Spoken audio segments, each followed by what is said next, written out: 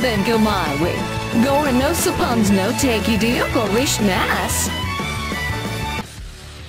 Derechito al vicio, somos RC Cine y en esta ocasión especial venimos a traerte la reseña número 14 de Yu-Gi-Oh! del manga de Kazuki Takahashi publicado en Argentina por Panini Manga y traído a ustedes gracias a nuestros amigos del túnel del cómic de Ramos Mejía. Una sola cuadra de la estación vas a encontrar todo el vicio de Ramos Mejía, mangas, cómics y pequeños funquillos también.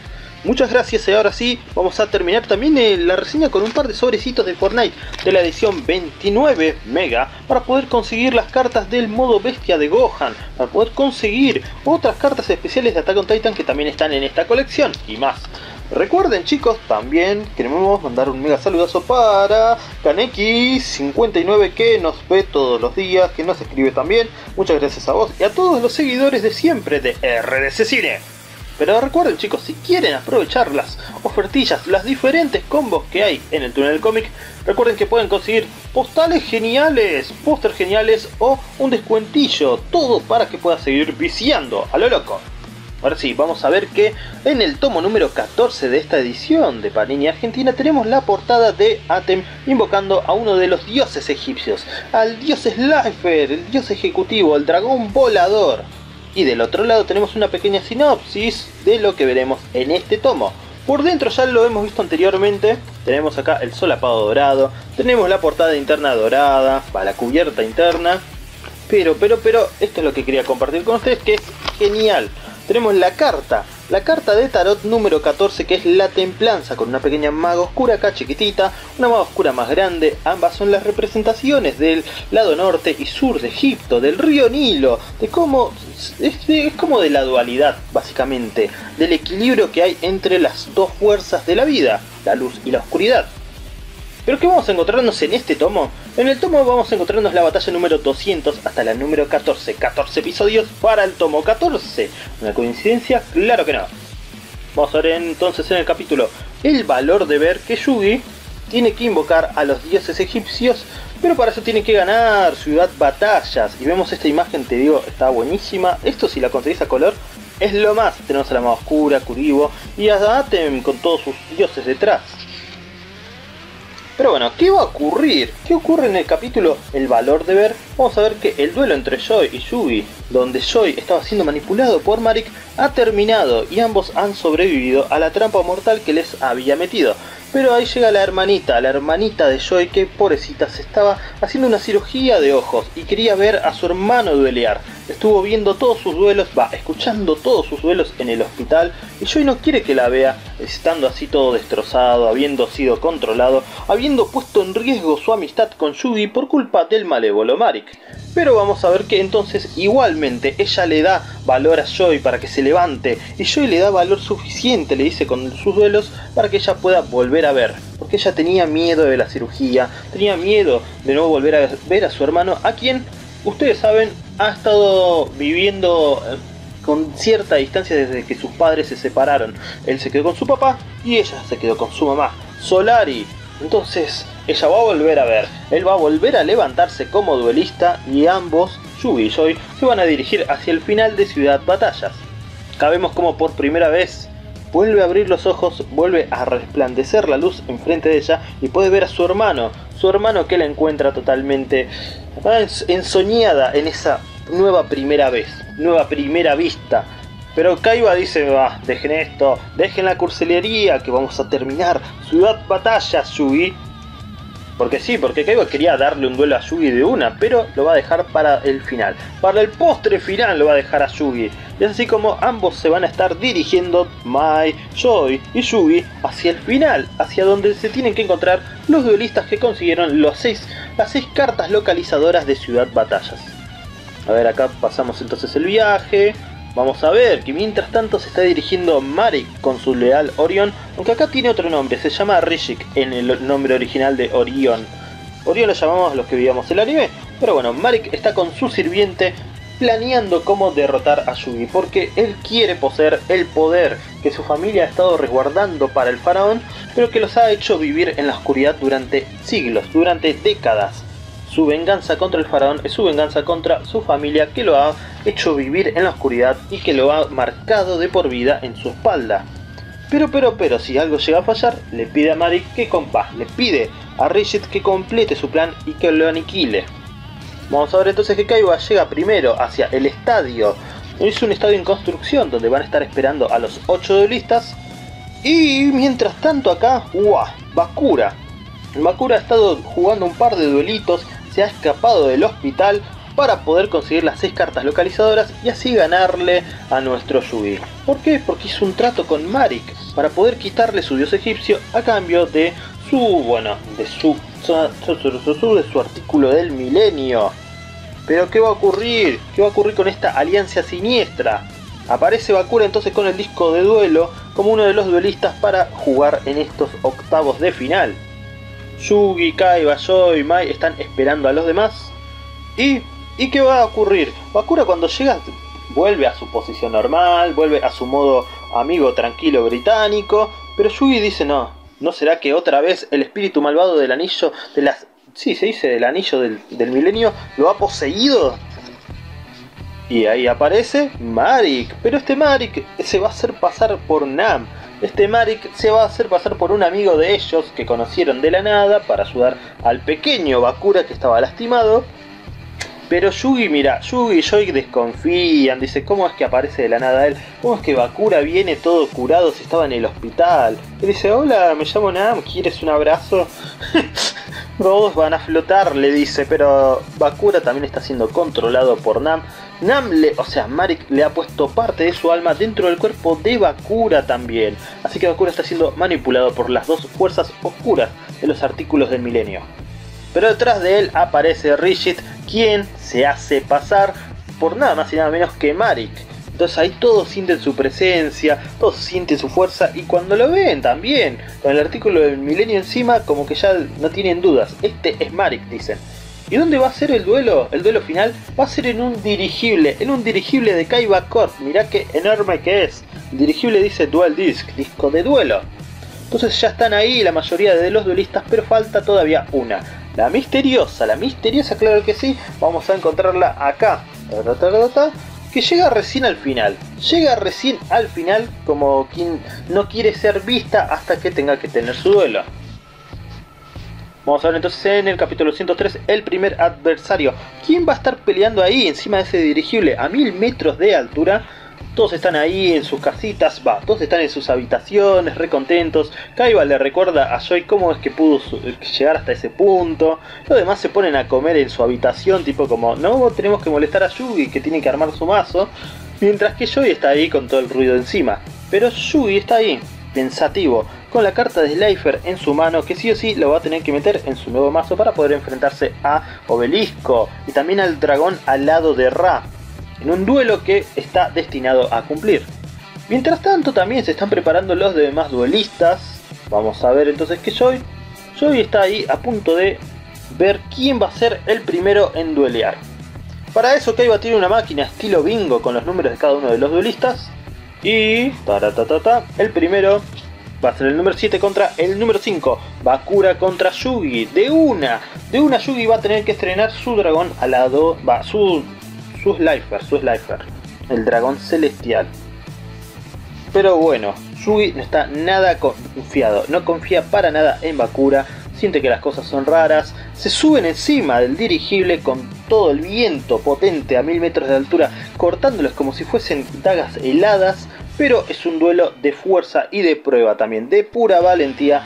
Y Bakura se va a presentar como el, obviamente, como el sujeto del anillo del milenio, invocando su mazo encantado, su mazo embrujado con cartas siniestras. Yugi va, Yugi va a empezar a meter también ahí cartas como Berfomet, va a empezar a atacar a sus monstruos, va a empezar a destruirlos, todos los monstruos que tiene Bakura los va destruyendo uno por uno. Pero esto es solamente un plan, un plan que tenía Bakura para poder meter su necrotemor oscuro. Una carta que sí o sí necesitaba monstruos en el cementerio de tipo oscuridad para poder desterrarlos y así invocarlo. ¿Es un monstruo siniestro? Claro que sí, es uno de los más geniales que había salido en ese momento en el anime. Pero acá tiene un par de efectos, un par de cositas cambiadas de lo que vemos en el anime. Son un poco más directos y un poquito más cruel se puede decir. La jugada entonces que va a hacer Yugi para poder vencer al Necrotemor Oscuro es meter a la maga oscura y darle un power up de poder para poder atacarlo. Pero cuando el Necrotemor es destruido, deja un fantasma que controla a uno de los monstruos de Yugi. Y si este llega a atacar por turno, ¡paf! termina atacándolo directamente a Yugi, causándole todo el daño de ese ataque. Pero a la vez hay una trampa que solamente puede ser usada cuando está Necrotemor Oscuro en el cementerio y es la carta de la Ouija que va a estar escribiendo turno por turno la palabra muerte. Y una vez que completen 5 turnos esa palabra va a poder vencer todo el duelo, va a terminar completamente, como si invocara Exodia. Pero no solamente eso, Bakura va a hacer un combo para poder meter, para poder hacer que Yugi quede trabado utilizando solamente un ataque por turno y que no pueda hacer nada contra su contador, contra su tabla Ouija. Yugi entonces está completamente bloqueado por la táctica de Bakura, tiene que invocar monstruos, quiere atacar con la maga, quiere atacar con su monstruo magneto, pero con la puerta oscura, esta carta mágica de, de Bakura, solamente puede elegir uno por turno para el ataque y si falla se ataca a sí mismo. La jugada entonces lo tiene en contra a Yugi quien va a encontrar un modo de destruirlo, de vencerlo y de poder saltearse este combo. Este combo mortal que lo deja con un solo turno. Yugi tiene el campo lleno pero tiene solamente un turno para poder vencerlo a Bakura. Y es así como vamos a ver que va a lograr bloquearlo, va a lograr romper el combo con Renace el monstruo sacando al Necrotemor Oscuro del cementerio. Pero Bakura tiene ahí un plan B, un plan B para poder seguir peleando y para poder recuperar el turno previo a que se destruyeran todas las cartas. Sin embargo, a nuestro Yugi solamente le queda una opción para vencerlo, y es invocar a Slifer, el dios del cielo. El dragón del cielo lo ponen acá, pero bueno, mirá lo que es este Slifer, es tremendo, mirá el tamaño que tiene por encima del dirigible. Sin embargo, acá, como lo vemos a Slifer, él no, él no va a ser afectado ni por el efecto de la carta trampa, ni del hechizo, ni del fantasma que ha puesto Bakura en el campo, y lo va a destruir con de todo. Pero recuerden que el poder, uno de los poderes principales que tiene Slifer es que a todos los monstruos en el campo del oponente les da un ataque de 2000 de daño, que si esos monstruos tienen menos de ese ataque son destruidos. Y además no es afectado por estos hechizos ni por estas trampas, por estas trampas del oponente. Entonces ahí cuando Bakura está a punto de ser derrotado, aparece Marik diciéndole, deja que yo me encargo. Agarra, agarra a Rishit y lo pone, lo pone en su propio cuerpo de Bakura como si fuese rehén. Lo pone en su modo más normal, cosa de que si fuese a ser recibido por el ataque de Slifer, no pueda sobrevivir ni soportarlo, porque solamente los que poseen artículos del milenio son capaces de resistir los ataques de los dioses egipcios. Una locura total, imagínate, por eso es que Yugi no usaría las cartas así porque sí. Pero bueno, por un lado vamos a ver que Yugi, por un lado vamos a ver que Marik quiere tomar de rehén el cuerpo de Bakura, mientras que el Bakura Oscuro no quiere que su cuerpo sea destruido, no quiere ponerlo así en riesgo y vuelve a ser él mismo en el duelo para poder recibir el daño que tiene Yugi, con la idea de que en cualquier momento va a poder obtener los artículos del milenio, va a poder vencerlo y van a terminar teniendo el duelo final sin importar que pierda ahora. Bakura no va, Marik no lo entiende, pero aún así Yugi, que estaba a punto de perder el turno y de perder el duelo, lo ataca con de todo, lo ataca con toda la fuerza de Slifer y lo destruye. Acá lo vemos, lo vemos en esta imagen que está, está buenísimo, el sombreado de la luz, acá todo el contraste del rayo divino que tiene acá nuestro Slifer es buenísimo. Le tira ahí el rayo, lo impacta directamente, van a buscarlo y la sortija del milenio o anillo o como lo quiera llamar todavía sigue ahí en el campo. Yugi y su otro compañero logran vencerlo y se pone a cuestionar el Atem oscuro preguntándose, mm, al final ambos somos iguales, tratando de proteger a nuestros, a nuestros vasallos. Pero Yugi chiquito le dice, no, no, no, no somos iguales porque vos sí me preocupás y yo sí voy a pelear para que puedas recuperar tus recuerdos del milenio. Pero, pero, pero, van a ver qué ocurre con el pequeño Bakura, cómo quedó lastimado y termina siendo hospitalizado y mientras tanto siguen furiosos por lo que hizo el falso Marik. Pero ya empieza el nuevo duelo, el siguiente duelo que va a tener de oponentes a Joy versus nuestro Rigid, que se está haciendo pasar por Marik. Pero bueno, en este duelo, para empezar, Vamos a ver, vamos a ver entonces cuál es el origen, cuál es el trato que tiene Rigid con Marik, por qué lo quiere tanto, por qué a él ha sido criado como su hermano, pero no tiene la, la, sangre para seguir el linaje de su familia, cosa que le cayó encima a Marik e hizo que Marik sintiese rencor por la familia y por este deber con el faraón. Vamos a ver entonces que Joy va a invocar primero a Girfrid, mirá qué genial que se ve Girfrid, mientras que Rigid va a invocar trampas. Primero, la trampa que vemos acá en el fondo es el, es el templo de los reyes que guarda dentro un tesoro, un tesoro que va a salir recién al final. Va a utilizar otras trampas más para poder protegerse. Trampas de defensa, trampas que Joy va a tratar de destruir con sus ataques, con el guerrero Pantera, con sus monstruos de Landstar, pero las trampas de Rigid se activan automáticamente para negar los efectos mágicos de Joy. Se ve muy bueno este duelo, la verdad que sí. Y cuando Joy cree, jaja, no tenés monstruos para defenderte, esa es la debilidad de tu mazo, Rigid va a empezar a utilizar cartas de monstruos, trampas, o sea, son tokens de trampas. Son tokens oscuros con el cual va a poder empezar a atacarlos. Pero mirá lo que son estos, mirá lo que son estos reptilianos, son tremendos, con 1600 puntos de ataque, con 1800 de defensa. Acá nos hablan un poquito del manga sobre la carta de la templanza. Y vamos a ver que entonces Choi tiene que planear, tiene que pensar si atacar a esas trampas, si dejarse llevar por las trampas, si utilizar magias para vencerlos. Josie está siendo, está siendo acorralado y va perdiendo todos sus monstruos. Se va debilitando sus puntos de vida hasta que le queden solo 50 y piensa en rendirse. Pero la hermana le dice, no, ánimo Katsuya, ¿no ves que ya llegamos hasta acá? ¿No ves que todos tus duelos te llevaron a pelear hasta acá? Si vas a pelear, si vas a perder, hacelo pero de pie. Y es ahí donde Joey recupera el valor, el valor para poder pelear nuevamente por todos los duelistas a los que ha tenido que enfrentarse a lo largo de Ciudad Batallas. Y la primera carta que va a recibir para poder cambiarlo todo es una carta de recuperación que le traerá a Shinzo, a Shinzo al campo. Shinzo que es un androide de Spy Robot, es una carta que puede negar y destruir todas las cartas trampas en el campo. Acá un poquito más la información de la carta de yu de la carta de la templanza, con una maga oscura que, bueno, representa en su versión chiquitita y su versión grande a estas dos posiciones del río Nilo, de la, del Egipto antiguo, como ambas convivían para que en cierto momento acá nos contaron un poquito que eh, la gente de Egipto, por ejemplo, le era estaba gratificada con el río, como, como si fuese un dios mismo. Había un dios para el río que este, si desbordaba, les podía joder directamente la tierra, pero si estaba tranquilo, les daba prosperidad, les permitía tener una buena, una buena ¿cómo se dice? Una buena estación, ¿viste? Para que, salga, para que salgan los alimentos nutridos del Nilo. Pero, pero, pero, sí, no, no, no nos sale la palabra exacta. Pero como que el Nilo, el Nilo te daba y te quitaba. Entonces tenías que estar agradecido en sus buenas y en sus malas temporadas.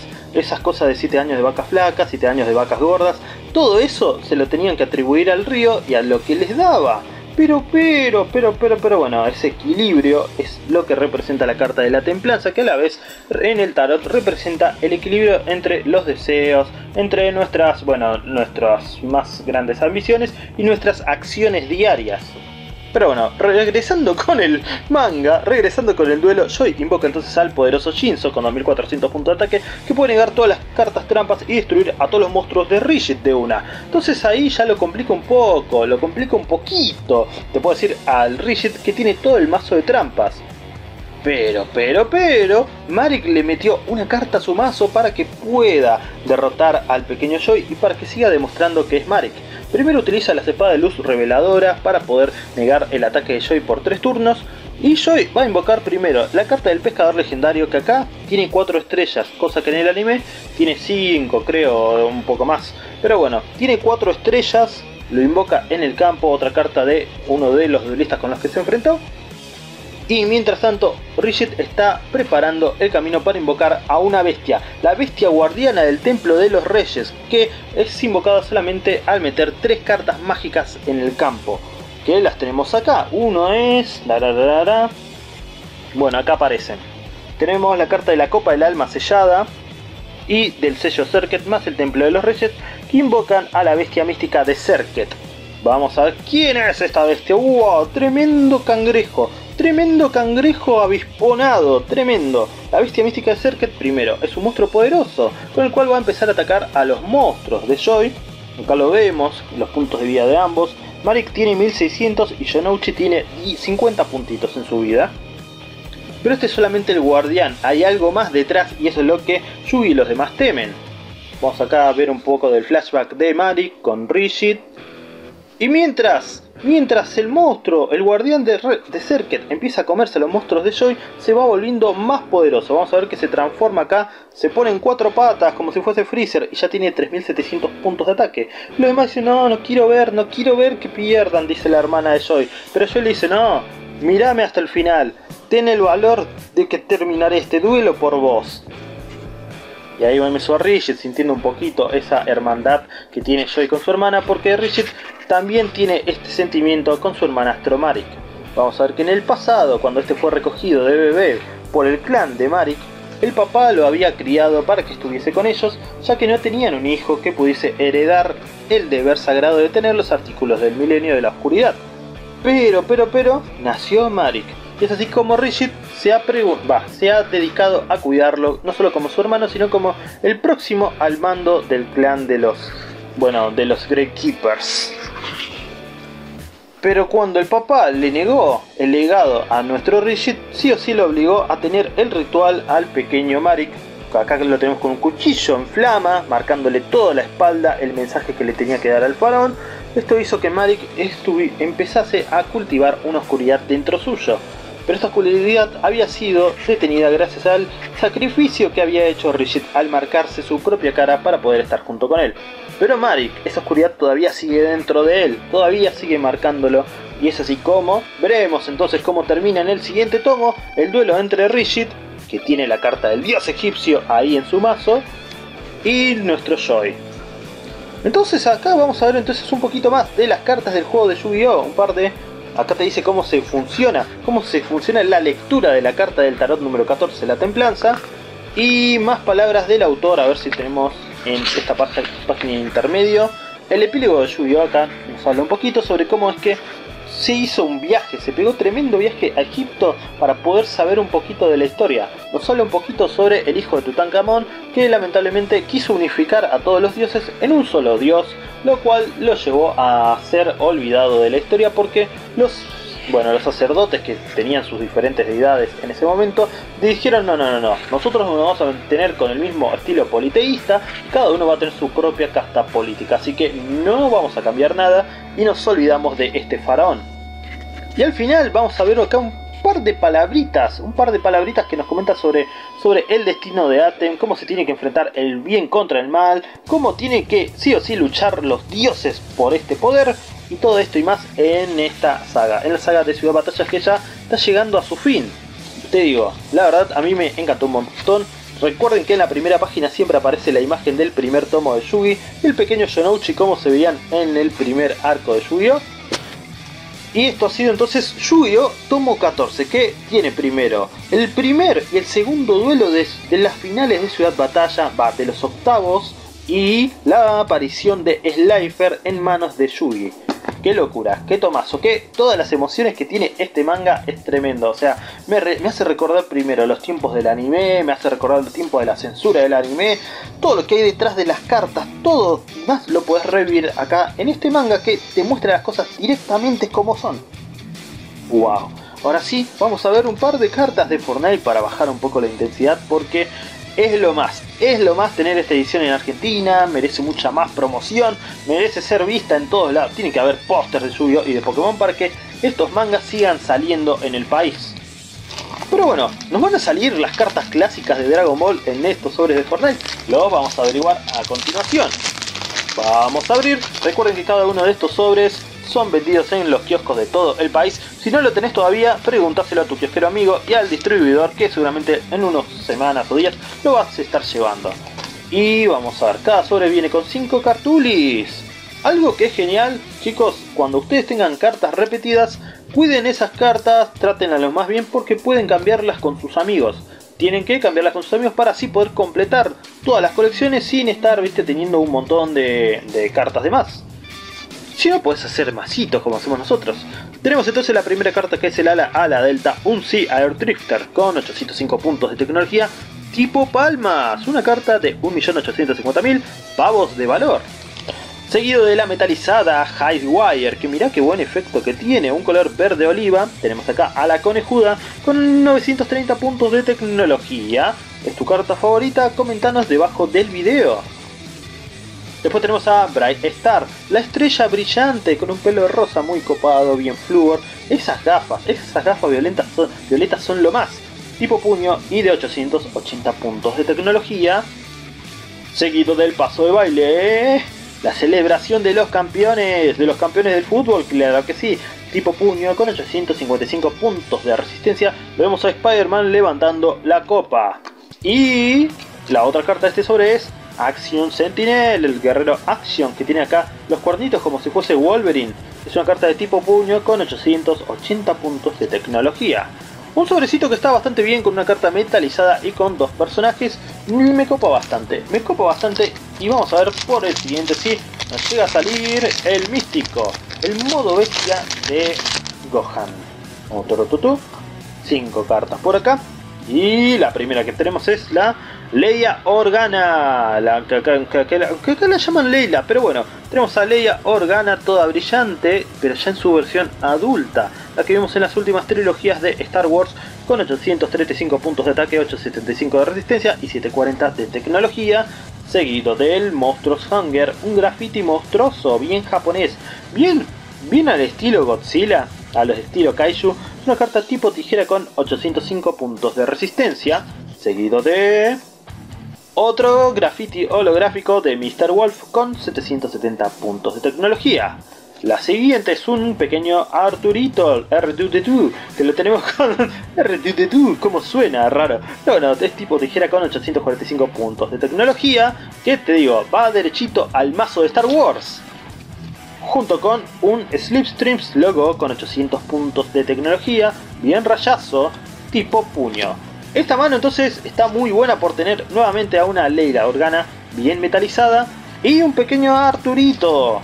Vamos a ver si en las próximas ediciones nos sale un especial de... Bueno, tenemos las cartas de Attack on Titan dentro de esta colección, que todavía no nos salieron, y las que nos faltan de Dragon Ball. Somos RCine, esperamos que esto te haya divertido, entretenido, hecho pasar el rato informado, te haya hecho recordar los viejos tiempazos de Yu-Gi-Oh! en este nuevo manga que puedes encontrarlo mes a mes en el túnel del cómic y nos vemos siempre derechito al vicio.